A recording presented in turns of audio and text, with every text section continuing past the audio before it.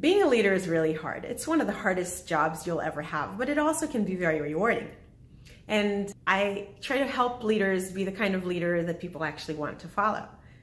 But I was recently asked a question, Halelly, what do I do if I am experiencing someone or maybe a couple of different people on my team who don't seem to want to follow my direction, my vision, my guidance? What should I do with people like that who seem to be resistant to following or non-compliant? Now, I have lots and lots of advice on my podcast, The TalentGrow Show, on my blog, in my books, and in the work that I do in the world that can help you become the kind of leader people want to follow and to become a more influential and more successful leader. But I want to challenge you today. When you experience pushback, when you experience resistance, when you experience someone who seems to not follow what you're doing, instead of following that knee jerk reaction of resentment, look for ways in which they might actually be helping you out. Are they doing you a favor by pushing back?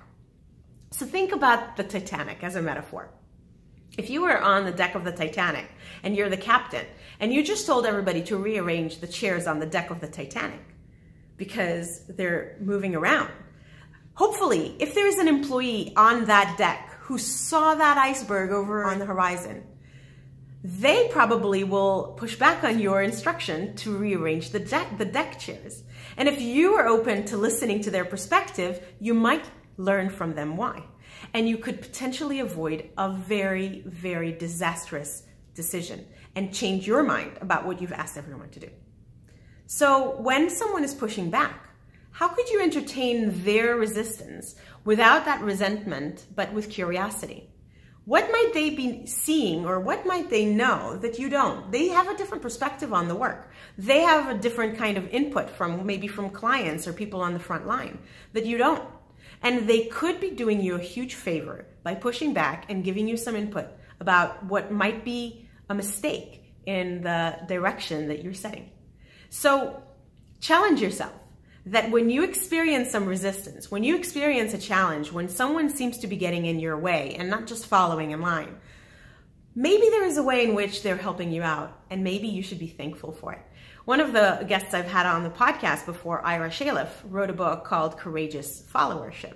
And as courageous leaders, which was another book he wrote, we definitely want to develop people around us who are willing and able to push back and to resist leadership that could be guiding them in the wrong direction, like what happened in Enron in that fiasco where people didn't feel comfortable to speak up. Daniel Goleman coined the term CEO disease. I wrote about this in a blog post where I said, leaders, you need to nurture your naysayers. CEO disease is when people, as they rise up, begin to be surrounded by yes men and yes women, people who just toe the line, who tell them their ideas are all great, who just say yes, who don't push back.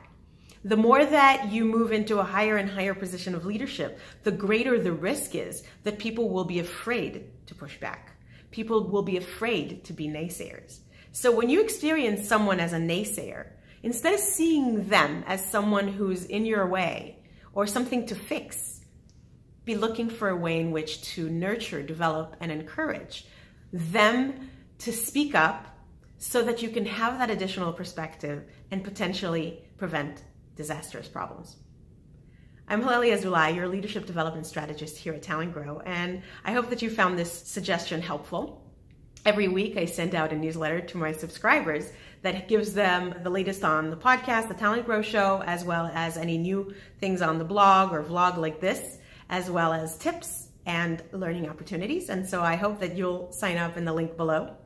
And until the next time, here's to your leadership. Make today great.